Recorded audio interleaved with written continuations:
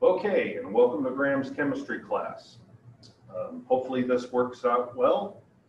Um, I have my uh, PowerPoint here for you, and I'm going to walk you guys through it. Okay, we're going to start off with a history of the atom.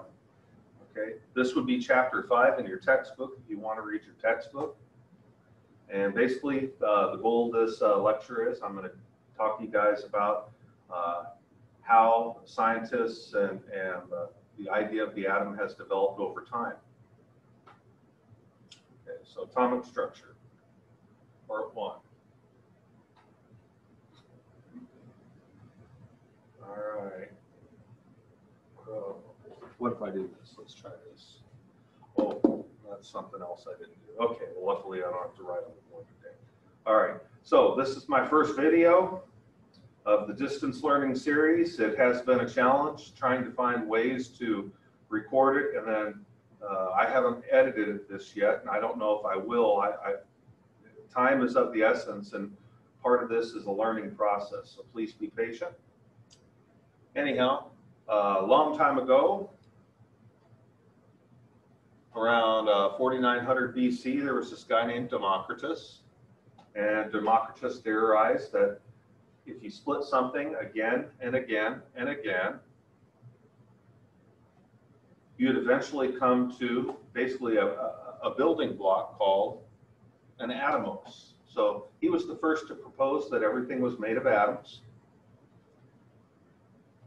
And so that was Democritus. Again, this is four, uh, 490 BC. So this is quite a, quite a while ago. Okay. So just imagine taking you know, rock and you break the rock down, eventually you get down to the size of, sand, uh, of a grain of sand. And if you kept cutting that grain of sand down smaller and smaller and smaller, sooner or later you've got to get to a basic, a basic building block of whatever matter is made of. All right. Now, this is 1803, so quite quite a bit of time has passed. I'm going to say about 2,300 years. Okay. Now John Dalton comes along, and he was known as the father of the father of modern chemistry. Now, John Dalton was an English teacher. Science really hadn't been developed a whole lot yet, and basically he worked at a school and and had access to science supplies, and he started doing experiments on um, you know if you mix a certain quantity of this with a certain quantity of that, how much of this product will you get? And he came, he came up with a, some concepts on chemistry. All right, so this is a picture of John Dalton, and he's known for resurrecting the idea of the atoms from the Greeks. All right, now Dalton came up with this atomic theory, and you got to remember this was back in the 1800s, so the equipment they had was not as technical or as advanced as what we have. And you have to say, you know, considering this guy, what he had to work with, electricity hadn't even been invented yet, he did pretty good. So, Dalton's atomic theory. Elements are composed of indivisible particles called atoms. Okay, so he believed that if you broke materials down smaller and smaller and smaller, eventually you would go ahead and get these things called atoms. And he believed that atoms could not be broken apart. Okay, now I want to point out to you guys, we know that this is no longer true. We have invented what are called atom smashers or particle accelerators, and we've been able to slam particles into atoms and make the atoms fall into pieces. But back then, electricity wasn't even around, so all in all, this is a fair assumption for Dalton to make. Now, atoms of the same element are identical, okay, which means basically, hey, you got an oxygen atom, the oxygen atom is going to look like an oxygen atom. Okay, you have a hydrogen atom, it's going to behave and, and act like a, a hydrogen atom. Now, the problem is, and again, he didn't, you know, all back then they had microscopes and graduated cylinders and flasks. Uh, you couldn't really see an atom or do uh, like a re really good tests with them. So I'm going to just let you guys know that this is not 100% true. Uh, atoms of the same element do behave similarly, but they're not identical. Some of them may have a few extra neutrons or a few less neutrons, which is going to change their weight, and we call those isotopes. Okay, he believed that elements are unique. Well, what does he mean by that? He means hydrogen is different from helium. Okay, so if you had a balloon of hydrogen and a balloon of helium, you can let them both go, they're both going to float up to the ceiling.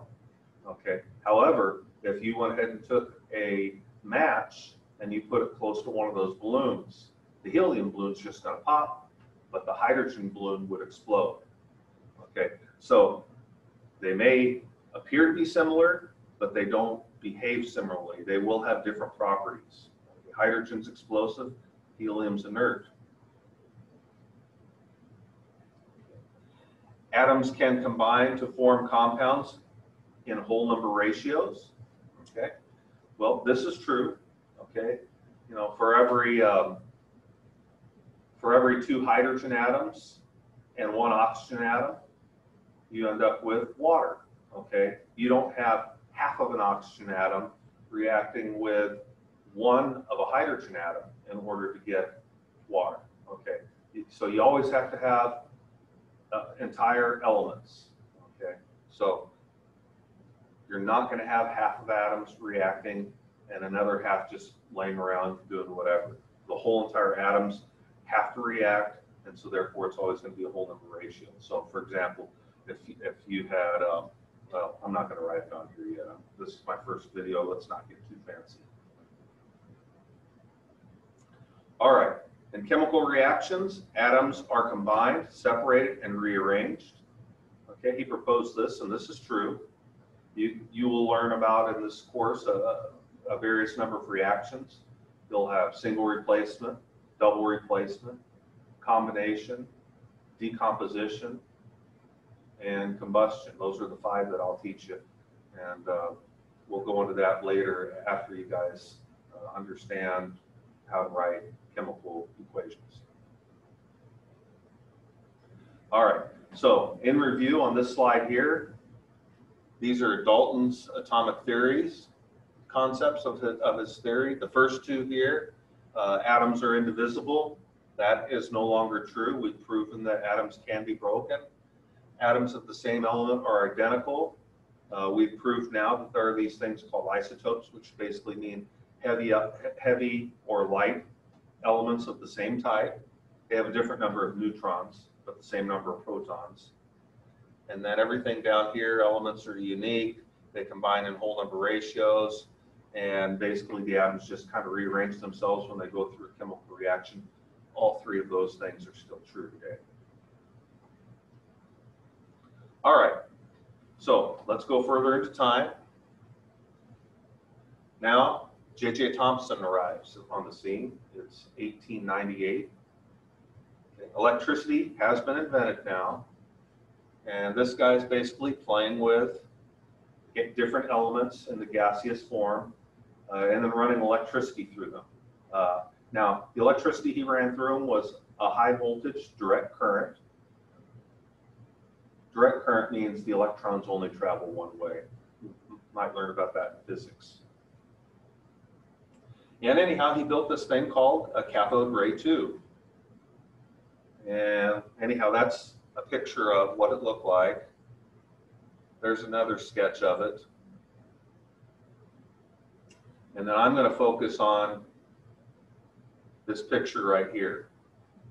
Okay, so one thing I want you guys to know about in this class, I'm going to, uh, the way atoms react and ions react, opposites attract positive is attracted to negative. Now, when you look at this picture here, he basically took this tube, he filled it up with an element in its gaseous form. So I'm just going to keep it simple and we'll say nitrogen, oxygen, uh, helium, neon, you know, things that normally exist in their gas form. And then he, he hooked an electrical lead over here, an electrical lead over here, and he applied a high voltage. Now, ignore these two plates for now and just pay attention to this positive here and this negative here. And basically what happened was the electrons, or, or at this point in time, we don't even know what they are. He just noticed, hey, there's these beams. And so all of a sudden these beams were shooting across, going from one side to the other. Now remember, this is electricity, so it travels at the speed of light. And basically this would just glow like a light bulb. So if you guys have ever seen neon lights uh, glow, like the, the hotel vacancy signs, things like that, the fluorescent uh, lights that are in your classroom, the big long, long tube ones, okay, you turn them on, you don't see the, the, the electricity going across, you just see it all of a sudden glow. Well, that's what this guy experienced, except he experienced it no matter what element he put inside these light bulbs. Well, what that proved to him is that no matter what element he put in there, all of these atoms in there must have this, have that, whatever that stuff is that's causing these lines. Okay, so they all have the same properties. All right, so he ups his experiment a little bit now. Now he's put a negative charge plate here and a positive charge plate here. And he hooked that up to, you know, like a Variac or a, a, a, a variable, well, no, this was, this, never mind, could have a Variac, this was, this was DC power. So it was probably more or less just a resistor, but anyhow, he hooked it up to a power source where he could adjust the voltage. Now, when there was no voltage coming between these two plates, he found that he could get this beam and it would just travel straight across. Okay. Now, if he made this bottom plate positive, then the beam would bend downward. If he made the top plate positive, then the beam would bend upward. Okay.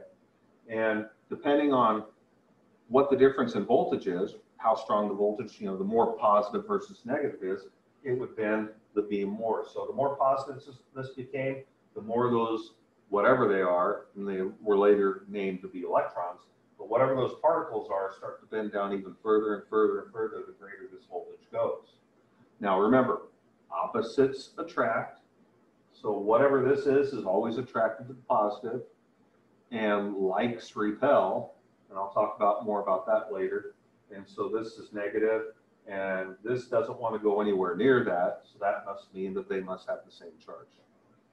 Okay, so in the end, this guy knows all these elements that he's put in there have some particles that cause these lines.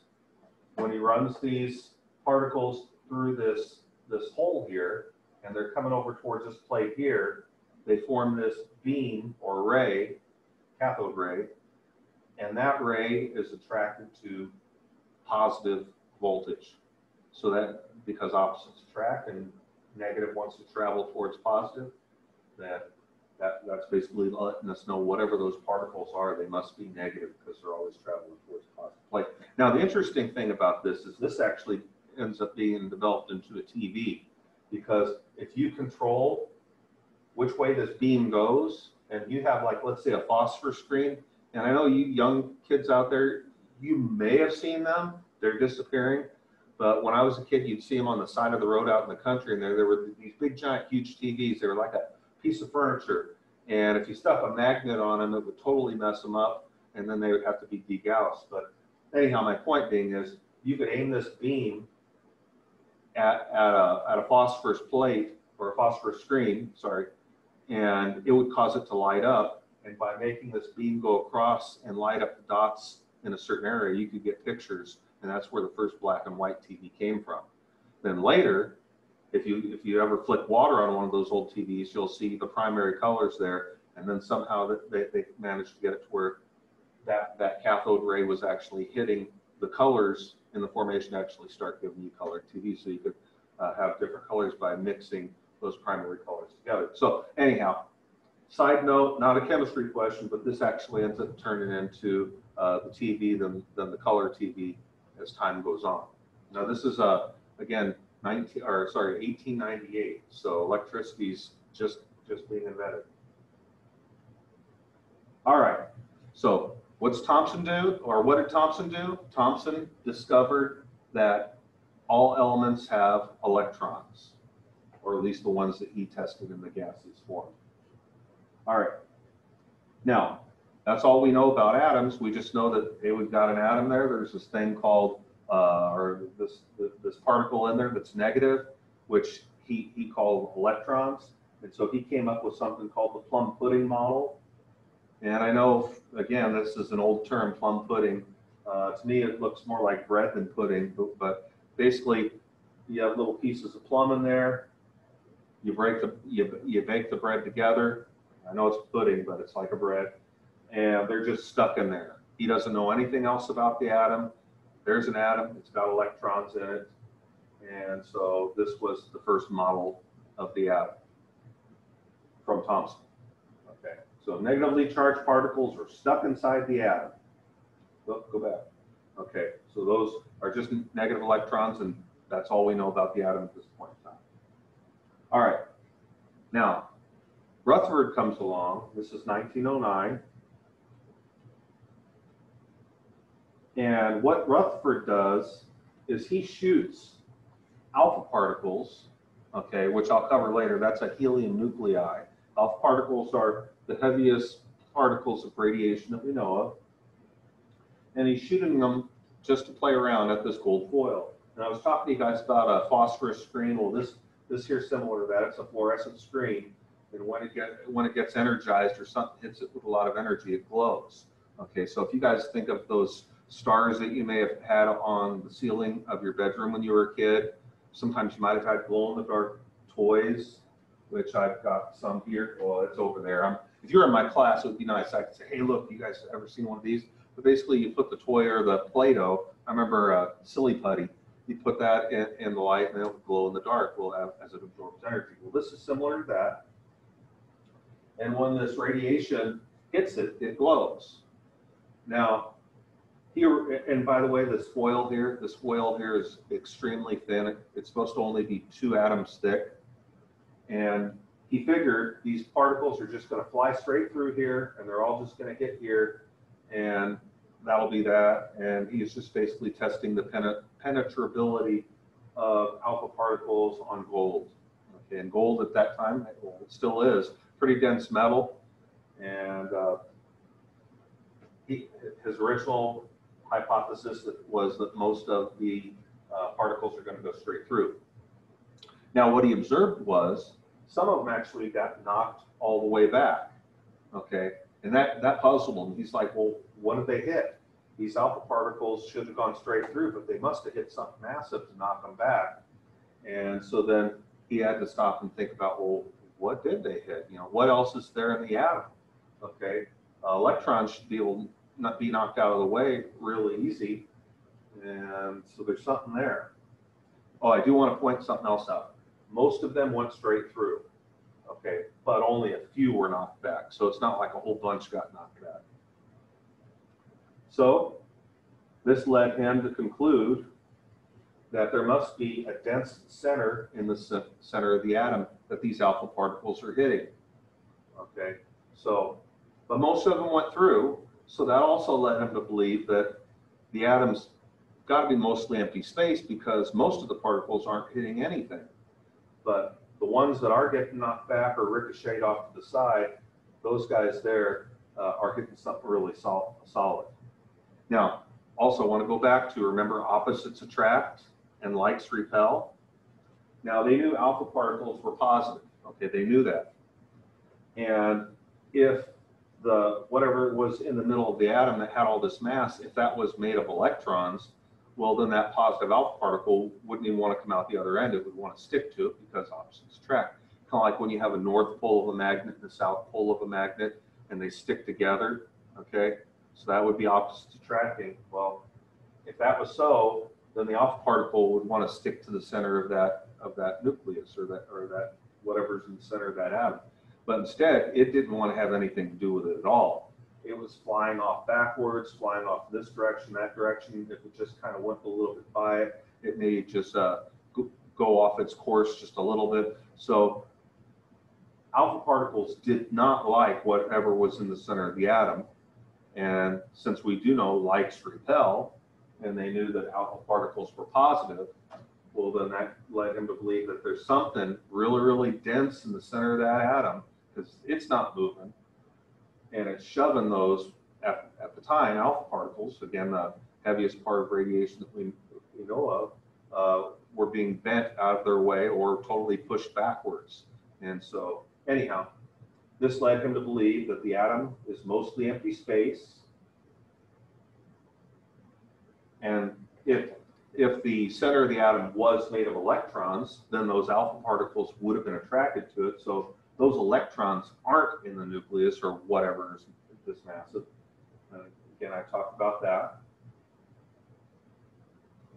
The center of the atom must be dense because it knocked, it didn't get knocked out of the way, it knocked the alpha particles back.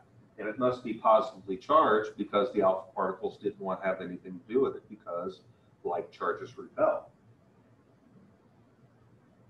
And since most of those particles went straight through, this led him to believe that the center of the atom, or what they later uh, came to label as the nucleus, must be very, very small because not very many of those particles ever came in contact with it, the alpha particles that I'm talking about, came in contact with it.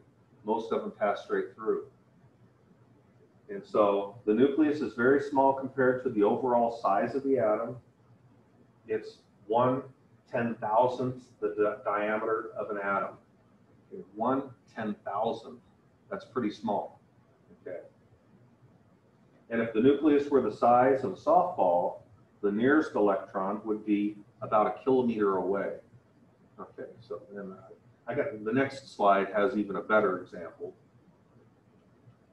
If the nucleus were the size of a pea, and you were to go out on the football field and put it on the 40 yard line, okay, it would weigh 250 tons. Now, I don't know if you've ever stuck yourself on a rock or a brick or something, but something the size of a pea that weighs 250 tons, if you accidentally kicked it, it's not going anywhere. And the fact that it's the size of a pea, you're going to jack your foot up big time. And let's see, the size of the atom would be the size of a football field. So you put this pea on the 50 yard line, okay, the whole football field is the atom. And let's pretend you decided, hey, let's get out our high powered rifles and shoot at that pea. Okay, you, that, that, that high powered rifle or, or the bullet from the high powered rifle would be basically like an alpha particle. And when it hits something, a bullet hits something that's 250 tons, that 250 tons isn't going to go anywhere. Okay. And the fact that it's the size of a pea in the middle of a football field, and let's pretend you're not aiming, you're just taking shots across the football field. Well, the pea is so small compared to the overall size of the football field that most of the bullets are not never going to hit this pea. They're just going to go right on by. Okay. And if one did happen to hit that pea, and again at 250 tons, bam, it's going to ricochet off. If you hit it on the side, it's going to go off sideways. So this demonstrates how empty atoms are. It also would, my description also demonstrates how dense the nucleus is and uh, how it does, you know, it, it doesn't want to get knocked out of the way. Okay, so Rutherford's conclusion, matter is mostly empty space. Okay.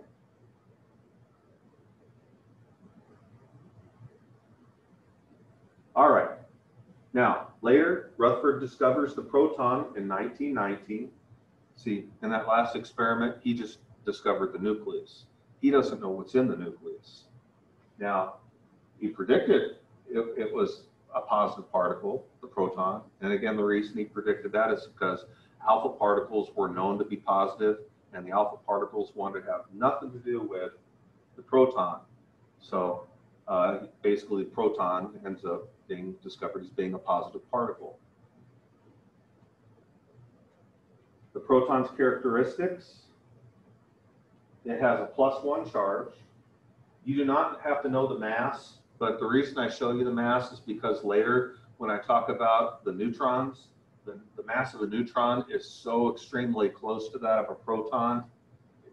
It, it's its only difference in weight is by that of an electron. So if you took a negative electron and a positive proton and were able to get those stuck together, you would have this thing called the neutron, which I haven't talked to you guys about. So at this point in time, all you guys know about is there's these things in an atom called an electron, and this guy here discovers the proton. So we got two pieces of the atom that we know at this point in time. And again, my point, is you don't have to know the mass, but, but realize it's, it's pretty heavy, okay, compared to, let's say, the electron. And the symbol down the road you guys may use is gonna be P with a plus sign? So plus one charge, P with a plus sign, that's what I need you to know regarding Rutherford's uh, proton that he discovered. All right, so let's see what you guys know. Uh, Can atoms be divided or broken into pieces? And hopefully you guys know that that is yes. I hope you guys know about particle accelerators or atom smashers to where they get these particles to go around and around and around super fast, super fast, and then they aim it at an atom and they can get, get the atom to fly apart. So can atoms be divided or broken into pieces? The answer is yes. Okay, next question. Are all carbon atoms identical? Okay, so basically I'm asking if, it's a carbon atom, it's the same element, are, are they all identical? And the answer is no. Okay, if you guys took biology, you should have learned about something called carbon 14. And carbon 14 is a radioactive form of carbon they use for carbon dating. Okay, so you're going to have some atoms that have more neutrons, some that have fewer, but they have the same number of protons, so they are the same exact element, and they just weigh different amounts. So those of you who may be familiar with the development of the nuclear bomb, okay, you have different forms of uranium, uranium-235 and uranium-238. There's more isotopes than just that, but my point being is they can be the same element, but they may weigh just a little bit different because they have different numbers of neutrons. Okay, what is the charge on an electron? Okay, so when Thomson made his cathode ray tube, that beam of particles that he didn't know what they were always traveled towards the positive plate or the positive voltage plate. They know opposites attract and likes repel. And so whatever was inside that beam that was later, they were later called the electrons, must be negative because it always traveled towards the positive plate. What is the charge of a proton? Okay, protons are positive. And again, what led Rutherford to believe this? Well, when he shot those uh, alpha particles, which were known to be positive, at that gold foil, those pro or those uh, excuse me alpha particles did not want to have anything to do with that solid nucleus.